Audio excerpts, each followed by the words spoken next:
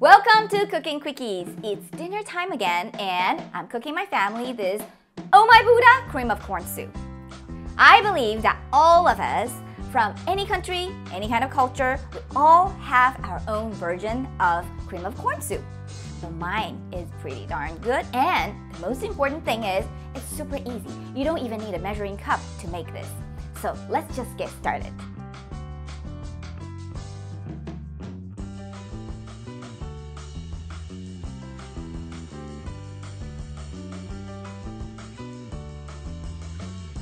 First, you're gonna need a can of cream of corn.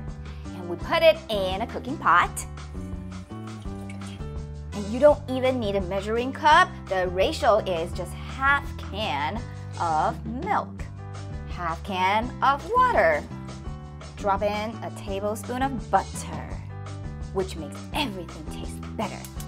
Turn up the heat. Wait for it to boil. Once it's boiled, you want to turn the heat off right away because this can bubble up and overflow like crazy. Season with some salt and then you're going to starch the soup. You always want to re-stir it. Now, you're ready. Turn the heat back up to medium-low. Start with just a little bit. Stir right away. When you're starching soup, you always want to bring it back to boil to see the real final consistency. This is about the consistency that I'm looking for. So now I'm gonna turn the heat off again and prepare the egg drops. We wanna beat the egg. Here's my pebble for finishing up the look of the soup to make it look pretty and taste good. It's to make this super beautiful, fine egg drop. Turn the heat back up to medium-high to bring it back to boil. Once it's back to boil, turn heat off. Create this whirlpool, the fast whirlpool in the pot. Do not stop.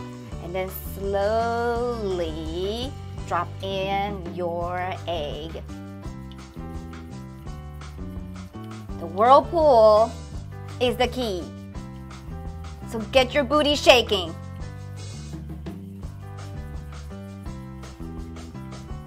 Keep stirring for another few seconds to wait for the eggs to set. The work is done. Look at this fine egg drop. Beautiful. And now, of course, I cannot wait until dinner time have this. I need to give it a try. Oh, this is my kid's favorite Oh My Buddha cream of corn soup. But to make it more adult-like, I like to add in a little bit pepper.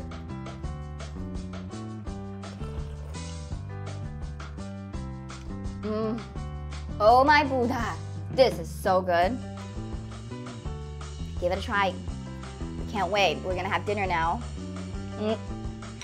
Before I go, if you like this video or like the recipe, don't forget to like and subscribe. Thank you. See you next time.